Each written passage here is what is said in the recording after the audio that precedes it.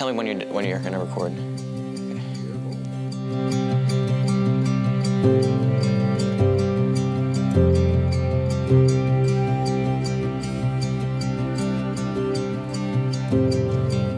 We've always been the church, so I feel like I've always loved Jesus. I was seven when I asked my parents if I could be baptized. I knew I was committing my life to Jesus. Now that I'm older, I understand that's more than just a one time thing. It's a lifelong commitment to serve God and be a part of His family. Being part of a spiritual family involves serving the Lord through His church, and I enjoy serving as one of the greeters at Vintage. I love all the people there, and I love worship and all the messages that Pastor Keegan shares. So, the biggest challenge as I've been here at Vintage Church as a Christian, I would say, would be not reading the Word of God and not applying it to your life. When I don't do that, it starts to mess with everything around you, like your attitude, how you act towards people. It, you start to, like I mean, I feel angry sometimes, so I kind of lash out some, like, quite frequently. Being part of Vintage Church has helped me grow as a Christian and understand God's Word more. It's not just reciting Romans 10:9 and being done. You have to commit to pursuing God your entire life. Whenever I make a mistake or say something I shouldn't, I know I can pray to God and He forgives me and brings me peace.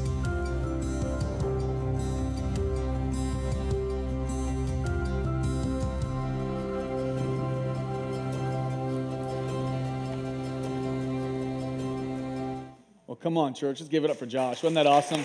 Man, Joshua is a great young man. You know, it's interesting. A lot of times at church, we talk about the crazy prodigal stories, but can I just tell you, as a parent of four children myself, my responsibility as a parent, as their papa is what they call me, is to make sure that we train them up in the way they should go. So that when they get to Joshua's age and they realize that following Jesus is so much more, they have a foundation to build on. Can I just tell you, that's the greater miracle than the prodigal, is the one that's raised up in the house of God and grows as a result of being poured into by uh, godly parents. And so I thank you so much. I say all that to say that's the reason why we started a school. It's the reason why we take children's ministry so seriously. These foundational moments. It's interesting. People will go into hundreds of thousands of dollars of debt in you know woke universities but they won't invest anything in the most formative time of a kid's life. And so i want to encourage you maybe you're in here and you're looking around going man i don't i don't know what all they're teaching me. I don't, i'm teaching my kids. I'm, i do not know if i feel comfortable with that. Here's what i would say to you.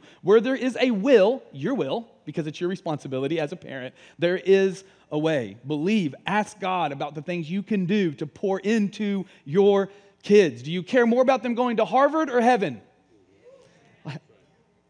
look at what you do because that's actually what you believe. Okay, I'm, just, just putting it out there. Anyways, for those of you who are new, uh, welcome. My name's Stephen, and I'm the pastor here, and we are continuing our series through Nehemiah. The, sub, the subline is a time to build. How many of you guys were um, at the church yesterday where it was a time to destroy? Anybody here for that? Come on. It's awesome. I think we have some footage of that old ugly building. It's amazing. You go in and you destroy, and it gets nicer. Can we, can we play some of that? I think we got it. Yeah. They were just tearing down that eyesore. We're now evaluating. We've got um, engineers and architects hired. They're evaluating to see if we can salvage any of it. Uh, on, on, the chance that we can't, we're going to tear that whole sucker down and build something nice. Come on. It's going to be really, really great. I'm going to tell you more about that uh, in, actually, next week, I'll be giving you an update on that project, what we're going to use this building for. It's absolutely needed uh, to go to the next place that we're going. I do also want to update you. I finally got into a piece of heavy machinery. This is me. You can tell I'm getting used to it. They didn't completely trust me, so my five year old was in there just making sure everything was working right and going good. I finally got into the dozer, super excited about that. All right, you can turn that off now. You can turn that off now, okay?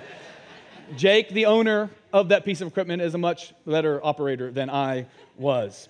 You know, before we jump into week two, we're going to talk about the burden that God gave Nehemiah. Last week, we built a massive foundation uh, on the background of Nehemiah. I do want to make a couple uh, corrections to my message. Last week, I covered 1,600 years in about 38 minutes, and so I made a couple mistakes. The first one was uh, Mount Moriah and Mount Sinai are not the same mountain. It was Mount Moriah where Isaac was offered by Abraham, that was, is also thought to be the place where God offered up Jesus on the cross. That's Mount Moriah, not Mount Sinai. And uh, for whatever reason, I misspoke and said that Jacob, that, uh, that Jacob was, um, uh, was Isaac's brother.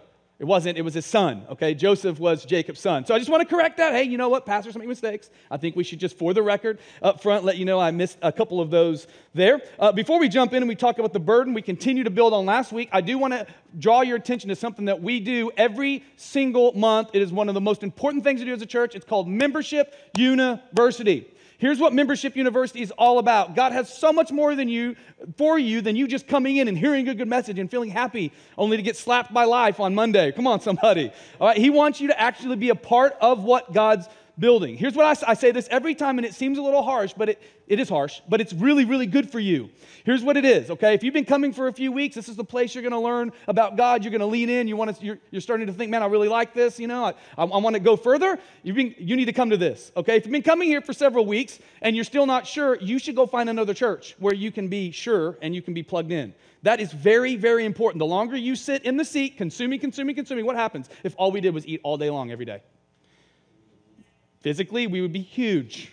Guess what? Many of us are huge spiritually and not in a good way. Okay? Diet, right? Serving is to diet what exercise is, okay? You've got to exercise your faith. We teach you how to do that. We actually give you an on ramp on what it means to be a member and to serve others and to contribute. So I want to encourage you to come. It's today after the last service at 1 p.m. Uh, childcare, food, Everything is provided. There's no excuses. We already have over 100 adults, so you will not be alone. I would love to share with you uh, what makes this place so special. And no, it is not just one person, it is a family of believers committed to a strategy of ministry. So I want to encourage you to do that. The big idea for Nehemiah remember, Nehemiah is not a priest, he's a normal guy. Why would I say that? Because when you read the Bible, it's tempting to read about these great men and women of God and to think that they were the ones that were great and to overlook God. The reality is, the scripture is the story of everyday normal people who put God first, and as a result, He shows up big in their life. If there's any area of your life that's hurting, if there's any area of your life that's not good right now, it's not God's fault, it's yours. He's put everything into your hand. It's called His Word. He's put His Holy Spirit into those who believe and confess Him as Lord and Savior. You can push forward, you can grow. Remember, God doesn't choose the, mo- the most qualified person to work through. Usually, they're also the most full of pride. Has anybody uh, bumped into an expert lately? Full of pride, know it alls. What he does is he uses humble, ordinary people who say, you know what, Lord, I'm all in. I'm all in. And that's really what this series is about. As we talk about a time to build, I don't believe it's just building the stuff we're building. I believe it's building your life, it's building your family, it's building your faith. We see this in Matthew 6 33. Jesus says, Seek the kingdom of God above all. Everyone say all. All, in the original language still means all. All. Seek God first in everything you do. Look what he says, and live righteously, and he will give you everything you need. That is not just the story of Nehemiah, that is also the story of us every single day, every day as we follow Christ. What I want to do is, I want to give a little bit of a background to where, we, where Nehemiah finds himself. I gave you the 50,000 foot view last week. I went all the way back to Genesis and I talked really fast. So some of you you had to like download the podcast or the YouTube and slow me down halfway. You definitely can't listen to me on double speed, but I want to make sure that I give you an understanding because you've got to know that things that you happen in your life and things that you see that happened in the Bible, they never happen in a vacuum. It never just happens all at once. It's usually, almost all the time, the result of steps that we take. Many, many steps led to Nehemiah being in this place of exile, and I want to talk just a little bit about that background. First, we need to know Nehemiah's background. I want to remind you that Nehemiah was living in a foreign country as a slave in exile in the Persian Empire. Uh, he was actually likely born there. He would have likely been a part of the second generation born into slavery. He served as the cupbearer to King Artaxerxes, a high and trusted position in the Persian court. He grew up, put God first, and God put him next to mo- the most powerful man in the, the ancient world at the time. Nehemiah was a layperson. He wasn't a priest or a prophet, yet he was deeply spiritual and devoted to God. We're going to learn about two other characters that were more political building characters and then more priestly characters later. Okay, there was a partnership there. Okay, some historical context. I want to talk about the fall of the southern kingdom. Okay, that's the, the kingdom was divided after Solomon because Solomon did not follow God. Did not trust God the way he should have. He allowed all kinds of demonic occult practices back into the nation. And as a result, although the nation was united under Saul, David, and Solomon, after Solomon, it split into the northern and southern kingdoms.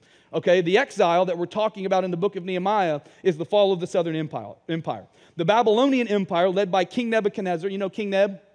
King Neb, okay, yep, yep. King Neb, he invaded Judah. In 586 BCE, Jerusalem was conquered and the temple was completely destroyed. Many Jews were taken into exile. There were actually three exiles, three groups. They always took the best and the brightest and they would re educate them. Does that sound familiar? Reprogram the deplorables to be like the empire.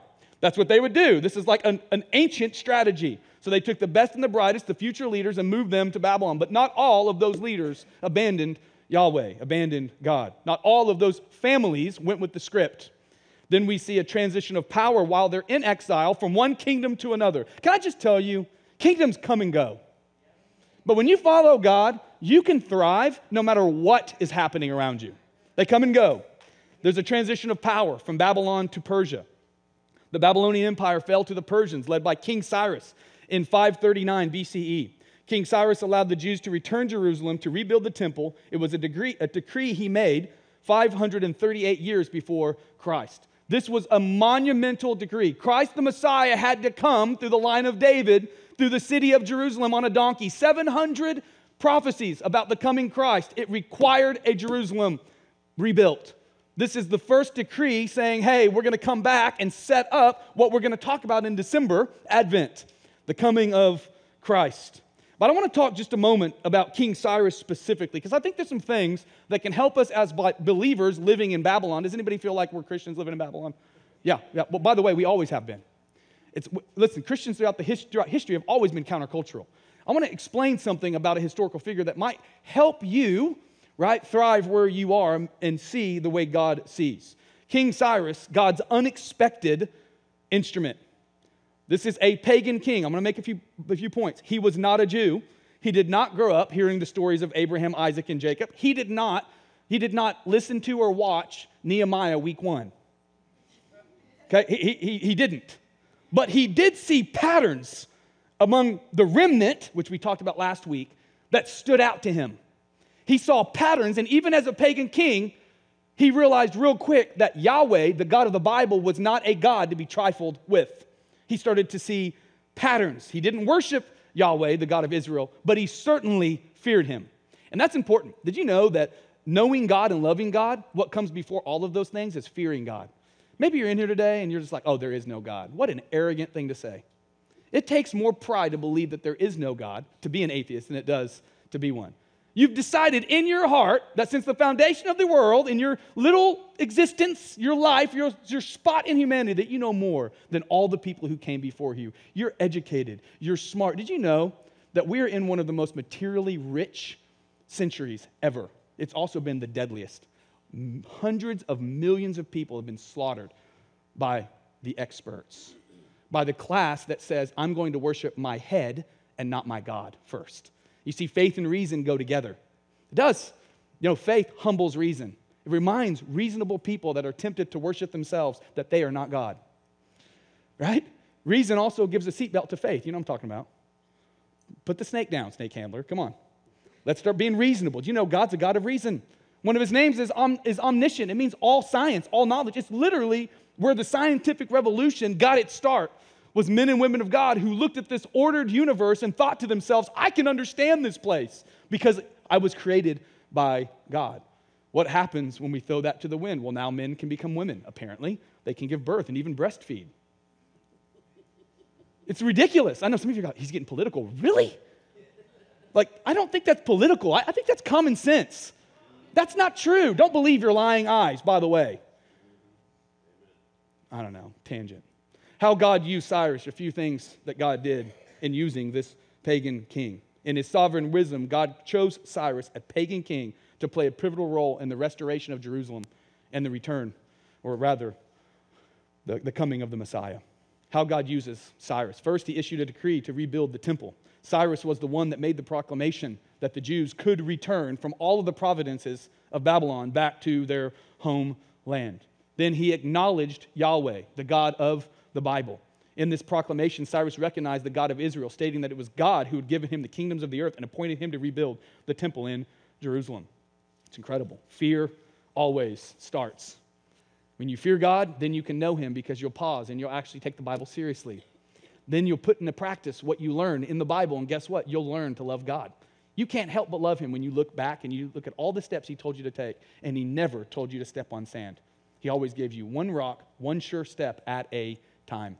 Cyrus was at the beginning of that, but he by in, in no ways worshiped the God of Israel yet. He also returned stolen temple proper, pro- property. Not only did Cyrus allow the Jews to return Jerusalem, but he made restitution of what was stolen, those sacred instruments from the temple. This is interesting too, because we have lots of people that come to Christ, right? And, and this, this, is a big deal. Lots of people say things when you stand up against culture, you, you challenge wickedness in the world. And they'll say things, Jesus hung out with tax collectors and sinners. Do you really think that was the context of their relationship? You might know every single one of them repented and they made restitution. A tax collector actually not only paid back what was stolen, but even more. You know what happens when you encounter Christ? You change, you repent. All that word means is to change direction, to go another way. Next, he guaranteed safe passage. It was a very dangerous world in the ancient world.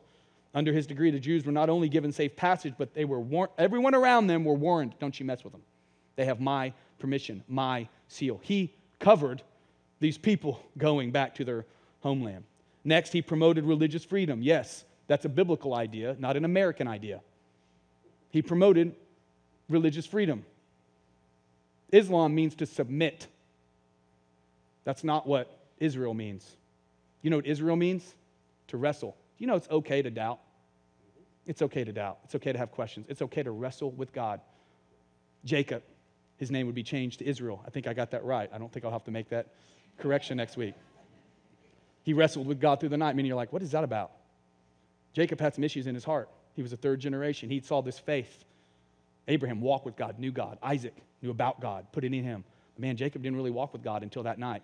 His brother Esau is ready to get back at him for something evil he did. And he cries out to God and he wrestles with God all the night. He refuses to let God go. Finally, God dislocates his hip. What is that about? When you wrestle with God, don't expect God to change, you change. This book is not about you, it's about God. It changes you, it reads you as you read it. He would walk for the rest of his life. Jacob would be called Israel, which means to wrestle with God. Here's the problem with here's the problem with doubt. Doubt that's not dealt with and not brought to in humility the word of God becomes unbelief. And the Bible says God can do no great thing where there's unbelief in the room. Many of you, your life is full of unbelief. It's because you haven't dealt with the doubt. You haven't asked the questions that you needed to ask. You haven't actually, in a humble way, sought to understand. Instead, you want everyone to understand you and your lived experience. Is everyone okay in 8:30? I'm a little feisty, but it matters. It matters that we take God seriously. That's where the blessing is. This is what Nehemiah understood. This is how God was using this pagan king because God's people forgot that. Forgot that. He promoted religious freedom. There was tolerance demanded in the Persian Empire. Granted, today, in ancient Persia, the tolerance is gone, but it was there. Next, he acknowledged Jewish leaders. He would send back Zerubbabel. He would actually allow them to self govern, to set up some things, to set up some foundations. Zerubbabel would lay the foundation of the temple. He was more of a civic leader. Another word for a political leader. He began to bring order into the region. Ezra would follow him. He was the priest, the pastor. He would begin to set up the temple. But then the whole city didn't have any walls to protect it. That was Nehemiah. Do you know what the job of the layperson is in the church? To stand at the gates and to protect the church. You have to protect your right to worship God because if you don't, people will raid, come in, and steal it. This is a picture of religious freedom here. It's a picture. When we don't protect it, when we think that our only our faith belongs in the doors and that's it, when we think that our faith is only personal and private, Okay, what happens is evil men and women will come in and steal it from us. Amen. It's what will happen. It's, a, it's something repeated in history over and over and over and over again. Next, he was the fulfillment of prophecy. Yes, biblical prophecy. God can use pagan people. Wake up, wake up. I like that. I got real roosters at my house, but, anyways. He was the fulfillment of prophecy. Cyrus's action fulfilled the prophecies of Jeremiah and Isaiah, Isaiah 44, verse 28, 45, verses 1 through 4. Why, again, why is this significant? Because it speaks volumes about the nature of God and his ability to use anyone and everyone in his divine purpose. We often have a tendency to put people in boxes, labeling them as good or bad, believer or unbeliever, right or left, black or white, orange man bad. You following me? We do that. It's wrong. We don't put our faith in people that don't love God. You should never trust people who don't love God. That doesn't mean God won't use them. Doesn't mean you shouldn't look over your shoulder. Shouldn't mean you shouldn't pay attention. Shouldn't mean you shouldn't be blunt and speak the truth no matter what. Okay, but God will use people that don't fall in your ideological box. Just consider it. Some people want Jesus to be president. Jesus will never be president. Not this side of heaven. All we got to deal with is people that are fallen, even those believers who stumble, who make mistakes, who fail. Does that make sense? By the way, Jesus isn't coming back and holding an election. He's coming back for his elect, not an election. He's coming back for his bride. And he's not coming back, you know, as the lamb who was slain. He's coming back as a conquering Jewish king. And when he comes back, regardless of what you think, what your lived experience is, or what your political values are, every knee will bow and every tongue will confess him as Lord, willingly or unwillingly. Those who have accepted him willingly will enter into a new heaven and a new earth, and those who don't, and we don't talk about this enough, we don't like to talk about hell. Hell is real. It's a real place. It wasn't made for you, it was made for fallen angels. But nobody will be in hell that doesn't want to be there. Think about that for a minute. God's good. Bible says he's willing that none should perish. He's going to, that's what Revelation's all about. We're going to teach Revelation, I think, next year again. It's, it, it's not about all the. Yes, there's judgment. Yes, there's, there's, there's things, but it's all about the fence riders. They're riding the fence. They think they can have one foot in the world and one foot in the kingdom. You can't do that. You know what he's doing? Spitting you out of your mouth. That's what he's doing. He's saying you got to choose and pick a side. Many of you, your life is not going the way that you want it, or the, even the way that God would have it because you're trying to have it both ways. You can't have it both ways. Jesus says, Woe when everyone speaks well of you. Whoa, that's a bad thing. Not woke. We have this picture of what it means to follow Christ that is nowhere in the scripture. Culture has infiltrated our ideas about how to live out our faith. Nehemiah, man, this story recenters, recenters us. It matters to us in our lives and in our politics, we're going to have people who on the surface seem unlikely instruments of God's grace. They might not fit the mold of a typical believer, but God is not limited by our expectations or our biases. He is a God of surprises. Has anybody ever been surprised? Always working in ways that we can't predict. Our job is not to dismiss, but to have faith and expect the unexpected from who God might use. We watch what they do, right? We fear and honor God first. Does that make sense? Let's get back to some of the background. Rebuilding the temple and the walls. This comes next. The first group of exiles returned and rebuilt the temple. This is in Ezra 3, verses 7 through 8. I'll let you read it on your own because I'm out of time. The second group, led by Ezra the scribe, focused on religious and social reforms. Nehemiah later reser- returned with a focus on rebuilding Jerusalem's walls, fortifying the city, and providing a sense of security and community. Wow, what a picture of the church. Think about what he came back to do in rebuilding the wall and what God did when the Holy Spirit fell at the church of Acts in Acts 2. Think about that for a moment. This is a picture. Remember, the Old Testament, right, is a veiled picture of a New Testament reality. You always see that when you're reading Scripture. You might think, what does that have to do with anything? What's with all the goats and the, well, I don't, I don't understand. Again, again, don't think, oh, those pagan heathens that didn't know anything. Okay, humble yourself and know that every single word is recorded in Scripture by inspiration of the Holy Spirit. It's there. Not one dot will pass away. It all has a purpose. And you'll spend the rest of your life as a believer opening up that book and seeing something you didn't see, even though you've read it a thousand times. Next, we see opposition and challenges. Wow, this is amazing. So, God's called Nehemiah to do incredible things. Guess what comes right after all the blessings? He has favor with the king. They pay for it. He has protection, but then he gets there and he starts working, and guess what's the first thing that happens? Opposition. Nehemiah and the returning exiles faced opposition from surrounding groups like the Samaritans. They held a grudge all the way to Jesus' day. Come on, it's true. Started right back there. They felt threatened by the Jews' return and the rebuilding efforts. We'll look more into this in week four, but you get a taste of what they experienced. We're going to talk about opposition in a couple weeks.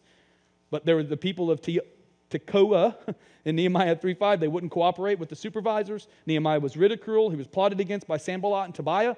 But by the way, those were men who, who you, they couldn't prove they were actually Jewish. Okay, but, but they pretended to be. It's fascinating. They pretended to be. Many people thought that they were half Jewish. A trap was laid to derail his mission of rebuilding the wall. There was a plot to kill him. False prophets tried to discourage him. Opposition from the Jewish nobles, false accusation from enemies. That's just a few.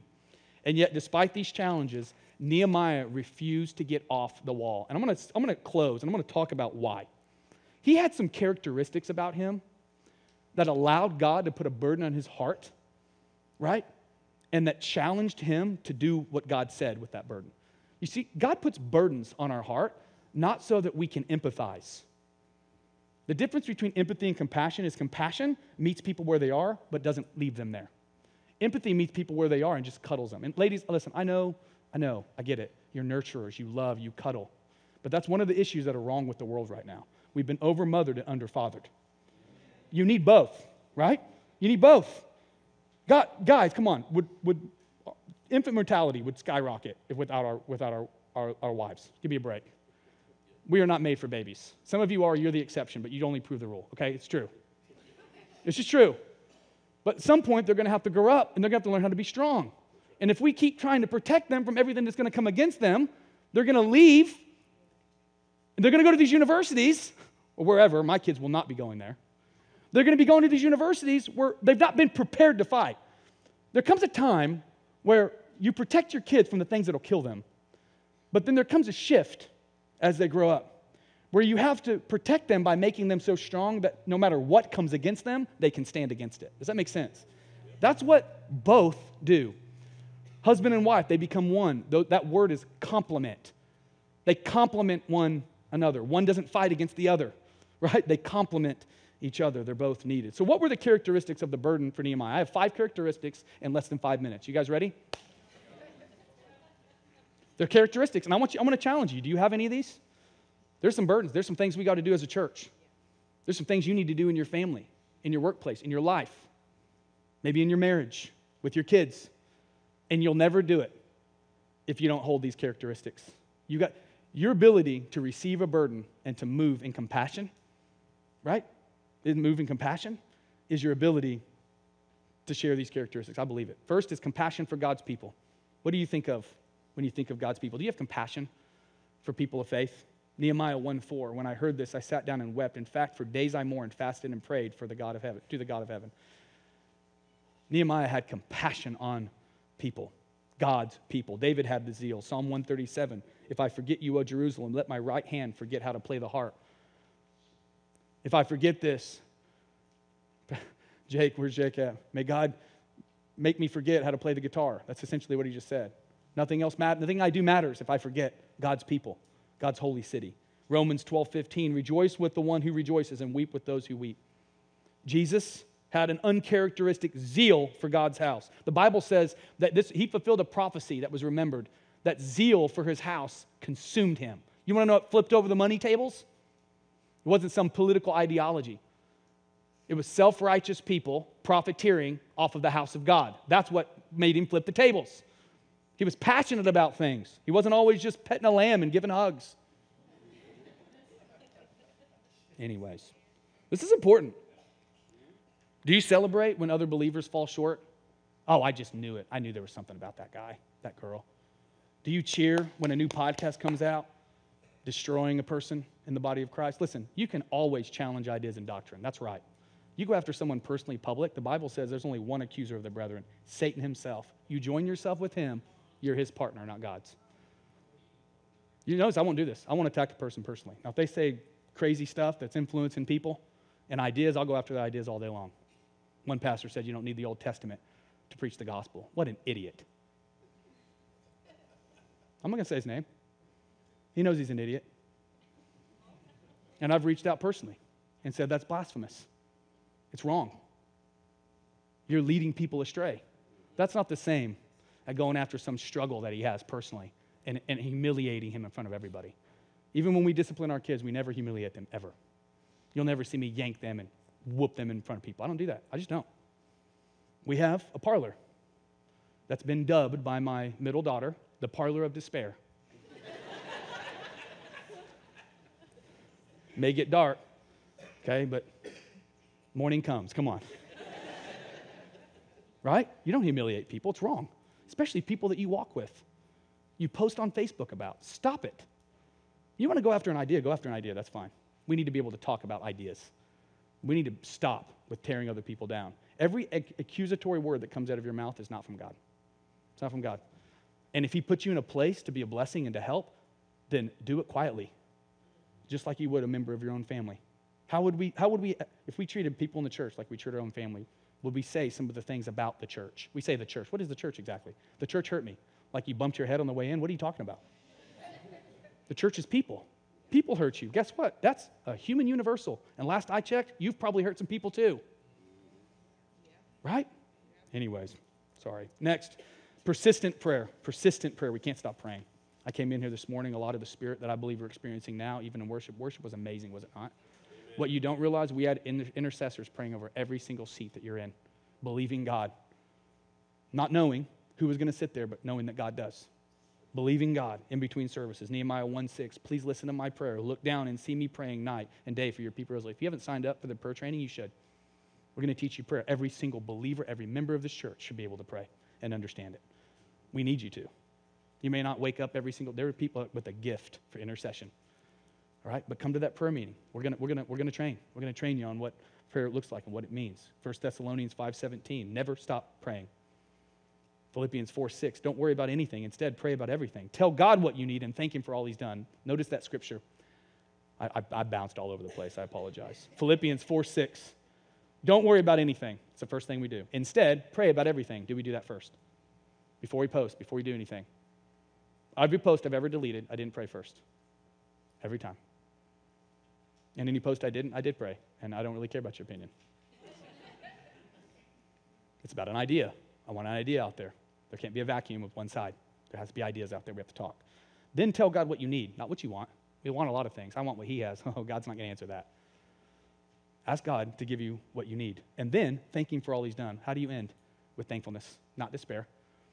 I, I coach our people in the prayer moment. I said, don't, don't end like a suffering Christian. You know, don't, don't end prayers. God, we just pray that you meet them there and you heal them and you just, no. Speak faith when, you, when you're done. God, we bring this to you. And we believe that no matter what, right here, this side of heaven or next side of heaven, you're here, you heal your people, and we're going to believe in faith for that healing. We're going to believe in faith for that person to give their life to Christ. We're going to believe in, did you get what I'm saying? Would it change the way you pray? I don't think God listens to empathetic prayers. Because those people want to pray as like a cathartic exercise and not actually do anything. Pray so that you hear God. Pray so that you pull God into that circumstance. Pray, but know that no matter what happens, God's good. Are you breathing today? This is the day. This is the that the Lord has made. You See, man, if we just did that every morning, if we did that before every Facebook post, guess what we realize? Are you still breathing? Are you still alive? Mm-hmm. Good, man. You're better off than all the people in the graveyard, especially those who don't know Christ. But, anyways, next you have to have the courage to act. I think I've already hit this. Nehemiah, Nehemiah 2 4 through 5, the king asked, I love this. Nehemiah prayed. God gave Nehemiah an answer. And he was ready. Because you know why? The king asked, How can I help you? Did we prepare ourselves for that promotion? Did we prepare ourselves for that breakthrough? so that when, not if it happens, we're ready to say yes. Many times we don't get what we pray for because we're not ready to receive it. We haven't heard from God. He hasn't settled our heart. Is it something we need or want? Is it before time? There's a time and a place for everything. We're in a time to build, right? Anyways. Next, strategic planning and wise action. We're going to talk a lot about that in the coming weeks. Strategic planning and wise action.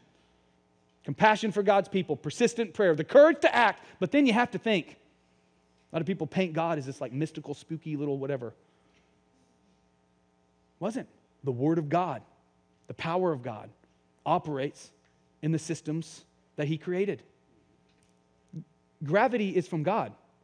Defy it at your peril. You better be able to overcome it with lift, or you're done. There's an order to how things work, right? You've got to work within that order. You got to do things that are smart. I do believe this. I do believe God bring. I believe God's honor when you seek first His kingdom. Here's what, here's what, that, here's what that means for believers we think it's yes or no. No, no, no. Sometimes it's just we get out over our skis. But if we do it in faith for God's people, planted in God's house, guess what? The Bible says, I, I believe God will make it up. Faith pleases God. You know, even if your timing's off, God's never is. You don't have to walk around in fear of every little decision you make. Do it in faith. Do it in faith. Step out in faith. My pastor taught me this. Be- the Belton building. Lots of extra debt. We have a lot more now. But, anyways, we bought the belt. It was a great, amazing gift. Amazing thing. I'm walking with him. I'm all scared. I'm like, I don't know about the debt, man. It's a lot. I don't know about going to the people. And I, I, don't, I don't know. And he goes, wait a minute. You mean you'd plant a church in a movie theater without a building? But in faith, God drops a building to your, in your lap and you won't just buy it? Why? And I go, I never thought about that. He goes, let me tell you something. Let's say you bought, you bought this building too soon. Did you do it to reach people in Belton? Did you do it in faith to grow God's kingdom? I said, Well, yes, sir, I would. It's the only reason I did it. Then do it. What he told me. He said, Then do it and watch God have you. Watch God have you. The courage to act, strategic planning, wise action, and finally, a sacrifice for God's house. Why do we build stuff? Because God builds stuff. The church is not a building, it's a people, it's a family. But every family needs what? Space. Every time we've added space, God's added more souls. We're going to talk more about that next week. What's that look like in the second year of the There Is More campaign? What does it look like for you to actually sacrifice something for God's house? We talk about this a lot, but there are three levels of giving. I'm going a little late, but I'm going to do it. Three levels of giving. You can give that which costs you nothing, what you can afford to give. That's the lowest level of faith. Does God meet you there? Sure. He provides seed to the sower, but you're not going to be able to sow much. Then you can sacrifice. You know what that means? Stop paying Starbucks for that $17 cup of coffee. Start tightening the belt and sacrifice for God. Do something that costs you something. The greatest level of faith, though, is the level that Kyle and I have learned the last few years. Don't put anything on God. Just simply in humility ask God, God, what do you want me to do with what you've put in my hands? And then whatever He tells you, it's usually more than you can afford, and it's usually more than you can sacrifice. It's just been my experience. And you know what God says? It's in that place of faith that God blesses you. Seek first the kingdom of God and his righteousness. And as you're built up in God's house, you'll have everything that you need. Nehemiah 5:10 I myself as well as my brothers and my workers have been lending the people money and grain but now let us stop this business of charging interest something dawned as they were in this work that there was nothing more important than seeing it through. Galatians 6 2, share each other's burdens, and in this, way, in, in this way, obey the law of Christ. I believe these characteristics are key. I want to put them back on the screen one more time. Put it back on the screen. I'm going to pray. All five compassion for God's people, persistent prayer. Ultimately, we have to act, but not foolishly. We have to consider the cost, and then we have to sacrifice for what's most important. Let me pray for you. God, I thank you so much for the power of your word. I thank you, Father, for what you're doing in our church. I pray, God, that you would continue to encourage us, build us. We thank you, God, that as we partner with you in building your house, Father, our house is built up in it. We thank you, Father, for the story of Nehemiah. The remnant left. You gave him a burden that he didn't just sit on because you knew that Nehemiah was a man of action and principle. You knew that Nehemiah knew your word and loved you and would do everything you asked him to do. That's why you gave him the assignment, Lord, and that's why you give us assignments. We prove that we love you by doing what you say. We love you. We thank you, God. May you speak to us as we round out this year. Father, I also pray for anybody in here that doesn't know you. I pray, God, that they would not leave this place the same way that they came in. As heads are bowed, eyes are closed, no one looking around, we're almost done. It's perhaps one of the most important parts of our entire service. Maybe you're in here today and you don't know God. Maybe it's because of pride. The truth is, you've always looked down on Christians, on the Bible, on God in general. Maybe you have an experience that led you that direction. But as a result of hearing God's word, there's something inside of you pulling you towards it. That's called the conviction of the Holy Spirit. It's still your choice. God never makes you do anything. You have to choose. You have to choose Him. Maybe you're in here and you followed God at some point in your life, but you're not following Him today. You've gotten off the path. You need to get back on the path. Good thing about ditches, you find yourself in one, you can get back to the road. Get back to the road. Get back to God ordering your steps regardless of where you find yourself today. You were created by God, and you will never be all that God's called you to be apart from relationship to Him, and you cannot get there apart from Jesus' sacrifice on the cross, His death for every single one of your shortcomings, for your evil sins and deeds. Every single one, past, present, and future, was nailed to that cross. But Jesus didn't stay in that grave. The Bible says He resurrected Every, every death as a believer results in a resurrection. God finds you where you are, but He doesn't leave you there. Believing that Christ died for your sins on the cross, accepting that He rose from the dead.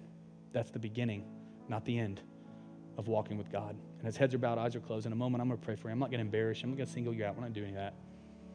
Maybe you're in here today and you're just far from God. You don't want to be. And you'd want my prayer. If that's you, as heads are bowed, would you just acknowledge that? Lift up your hand. Let me see you. I see you. I see you. Just lift up it. I see you all over the room. I see you. It's the most important decision you can make, but it's yours. I see you. I see you. In a moment, I'm going to lead you. In, I'm going to lead you in a prayer to God for the first time, or back to God for the hundredth time. I want to encourage you to say this prayer just loud enough where you can hear your own voice. The people around you, believers who love God and love you, are going to pray so as to encourage your faith as well. I believe God's going to move through this prayer. I believe, because it's rooted in Scripture and the power of God, I believe He's going to meet you there, but He's not going to leave you there. We're also going to give you some steps to help you grow and find your place in the body of Christ so that you can mature and develop. But right now, let's get right with God. Church, we believe in what they're doing. Let's pray this prayer all together. Let's pray, Jesus, thank you for coming to this earth, for living a perfect life. Thank you for dying on the cross for my sin. I believe that you are good, and I believe you're God. I believe on the third day, after you were killed on the cross, I believe you resurrected from the dead. I believe you defeated death once and for all to give me life once and for all. Not just eternal life, but the best life now.